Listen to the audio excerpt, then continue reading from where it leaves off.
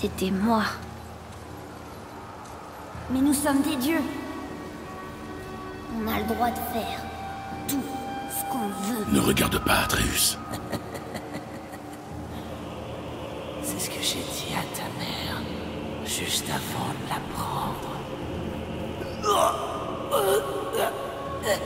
C'était pas moi. J'aurais jamais fait ça. Ne ressasse pas ses pensées. Pas ici. Oui, Nous devons continuer. d'accord.